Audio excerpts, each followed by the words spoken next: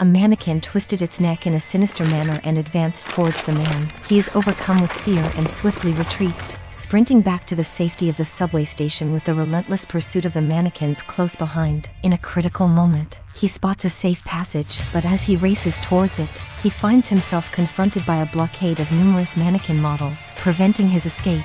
From behind, the contorted mannequin figures continue to advance towards him in a desperate bid for survival. The man forcefully pushes down the mannequin, seizing a fleeting opportunity to break free. Swiftly turning his head, he resumes his frantic sprint. However, his relief is short lived as his legs and feet gradually stiffen, causing him to come to a halt. With mounting horror, he gazes down, only to discover that his hands have transformed into plastic models. Gradually, his facial features followed into plastic, marking his fate as the next meticulously crafted high quality plastic male mannequin.